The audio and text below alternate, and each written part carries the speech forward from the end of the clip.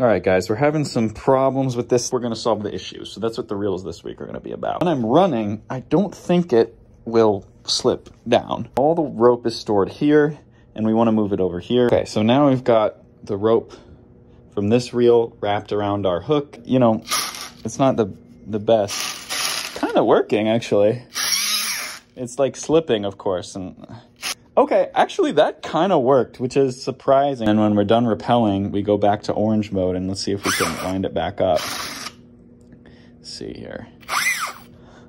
That's not working very well. Why is this slipping? This reel is really friction heavy. Oh, this feels great. So I'm gonna have to find whatever source of friction this is. This was not spooling out fast enough and this was spooling out too fast. It caused this to get caught in the belt and uh, now it's ruined. You've seen it work. Now I'm trying to just make it work the best it possibly can.